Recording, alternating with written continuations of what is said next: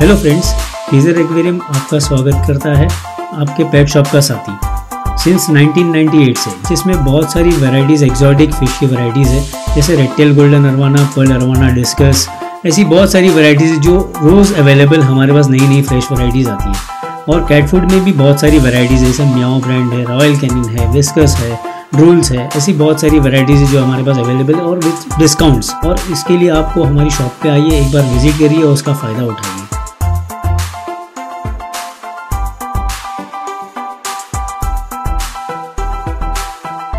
मैं हूँ फिरोज हाशमी, आप देख रहे प्रहार टाइम पुलिसकर्मी ने कार चोरों की प्लान किया फेल तो गुस्से में चोरों ने पुलिस को चाकू से किया हमला।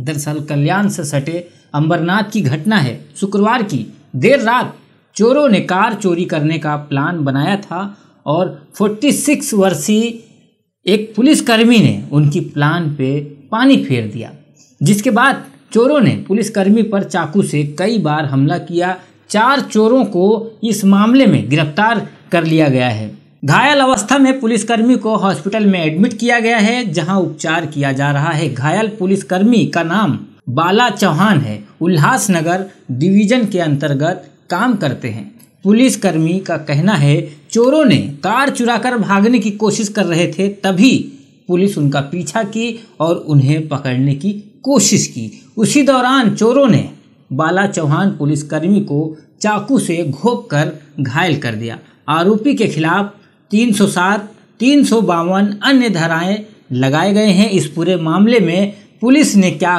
कुछ कहा है वो भी आप सुनिए। दिलखुश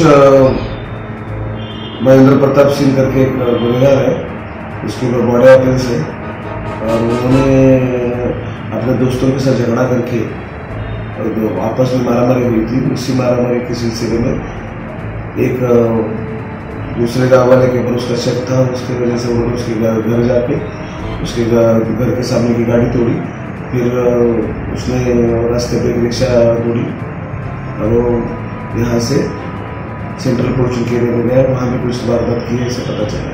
तो उनको हमने तुरंत अरेस्ट किया है और आज कोर्ट में भेजा है। यहाँ उसी आरोपी ने दो तीन लोगों को भी मारा था। उनका वो स्टेटमेंट रिकॉर्ड हुआ है और हम लोग उनके ऊपर कड़क से कड़क कार्रवाई करेंगे।